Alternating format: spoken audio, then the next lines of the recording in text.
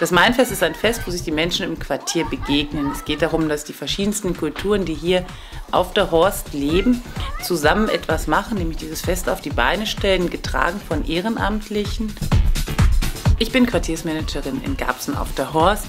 Meine Aufgabe ist es hier, die Menschen an dem Projekt Soziale Stadt zu beteiligen und die Menschen im Quartier, welches ungefähr 6000 Einwohner umfasst, dazu zu bringen, sich einzubringen und ihre Interessen und Meinungen zu vertreten.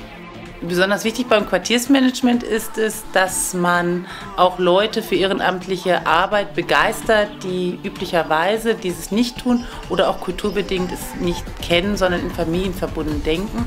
Meine Aufgabe beim Mainfest ist im Vorfeld den Rahmen zu schaffen, die nötigen Genehmigungen einzuholen und alle Teilnehmer zusammenzusammeln, zu motivieren, teilzunehmen, ihnen Mut zu machen, dass sie es können und ihnen aufzuzeigen, welche Möglichkeiten sie haben bin also an so einem Tag von morgens um 10 bis zum Schluss um Mitternacht vor Ort und betreue alles, was da anfällt.